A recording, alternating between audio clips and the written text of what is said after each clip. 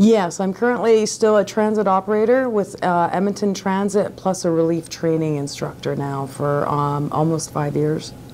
Oh, my mom. Oh, when I became a transit driver, my mom was so proud of me. She bugged me ever since I was a kid, ever since I was nine years old, to become a bus driver. Um, after um, she became a transit operator, she was a transit operator for about three years, but she wanted some normal hour, hours with her kids because back then um, there were no uh, labor laws that were in effect. Um, so she was working crazy hours, crazy hours, like 16 to 18 hours a day, and uh, and weekends, everything. And she knew at that time that she wanted some more time to spend with her, her children. So um, she actually, her next job was becoming the first female ETS dispatcher. And that gave her the weekends off to spend with her children. So she became a dispatcher, and I think she was a dispatcher for about three years. And then uh, another posting came up for um, uh, Special uh, Services Charter Officer, and then she applied for that, which even gave her even more normal hours of, you know, 8 till 4 weekdays. From the stories that she told me when she became the first transit operator was um, she told me not only that the trainers refused to train her, um, the drivers were quite cruel to her.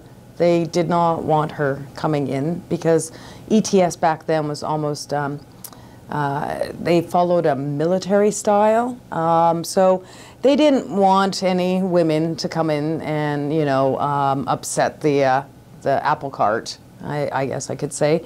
So um, when she first became um, a driver, what the drivers would do in the old Jimmy buses is you've actually got a handbrake that you squeeze and you would pull up, and they would um, take this handbrake and they would pull it up as hard as they, they could so that she would have a very difficult time squeezing and getting the brake off of the bus. Um, now we have maxi brakes, but back then it was a, a hand brake and it was manual steering. Um, and uh, the drivers would make a lot of um, crude comments to her and do a lot of mean things because she was not only a woman, a female um, driver, but she was also um, a divorcee, which was not um, looked upon very nicely back in those days. Like um, even our house would get vandalized because she was a divorcee. So we actually ended up having to get actually uh, a German Shepherd to guard our house and our property because people would vandalize our house because she was a divorcee and it wasn't heard of back then. Um, the other problems that she would have um, while driving buses was from passengers.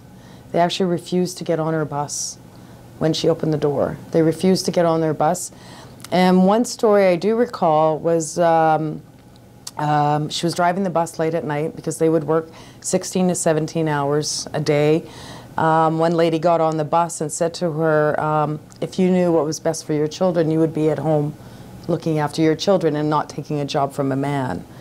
And uh, she turned to this lady and said, you know what, I do know what's best for my children. That's why I'm sitting in the seat and I'm busting my butt so that I can bring home an income that can, um, you know, give them uh, a home to grow up in and education, um, and I can feed them. Um, after she had that uh, conversation with that woman, the woman actually became her best friend, and late at night she would bring her coffee and sandwiches. Um, so she actually won the respect of this woman who told her that she should be at home looking after her children.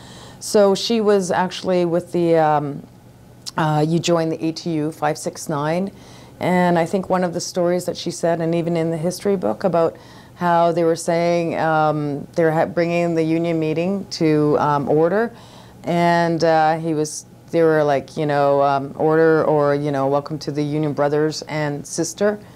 And I think in the history book, that's when everybody looked at her because she was the only female there and she just laughed, you know, because she was the only female there. So they're like, you know, welcome, you know, to the union meetings, our brothers and our sisters.